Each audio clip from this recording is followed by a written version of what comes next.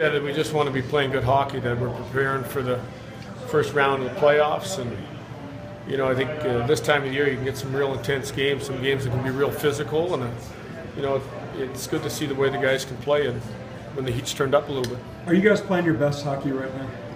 Uh, you know, I don't think we played our best game last game. Uh, you know, I think we've put together a good stretch, even with uh, the number of players we've had out of the lineup. We've had some young guys step in and play well for us. Uh, I think uh, we've played some of our better hockey away from the puck, and at the same time been able to score. Do you manage minutes for your guys because you guys are already in the playoffs?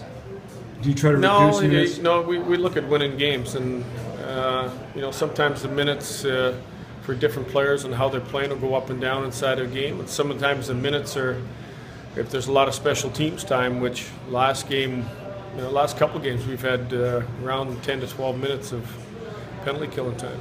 How are you going to decide to manage your goalie situation? Will Same it be just Same way I've managed them all year. Uh, you know, we're going to use them both here till the end of the year, and there's a, a good chance we'll use them both in the playoffs.